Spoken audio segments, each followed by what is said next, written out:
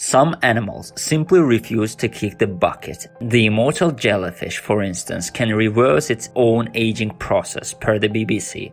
The large die-hard tardigrade isn't immortal but can survive being shot into space, boiled for an hour at over 300 degrees Fahrenheit, and frozen for 30 years in Antarctica.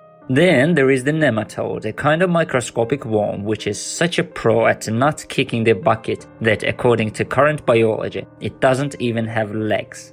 In fact, in 2018, scientists learned that two species of Siberian nematode managed to withstand being frozen 1400 times as long as those nigh indestructible tardigrades that became Antarctic ice cubes.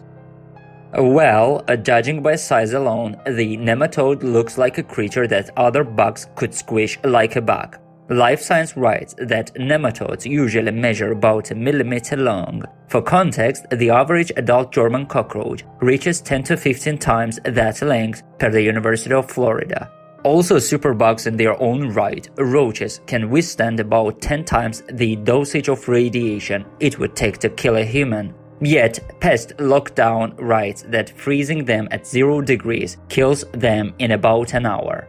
The nematodes found in Siberian permafrost, by contrast, managed to last 42,000 years. Heck, these creatures even outlasted the permafrost, which released them from their frigid prison by melting.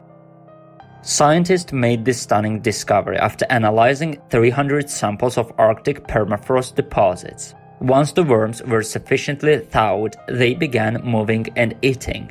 This isn't the first example of the nematode's insane staying power. Live Science notes that some are found living 0.8 miles below Earth's surface, deeper than any other multicellular animal.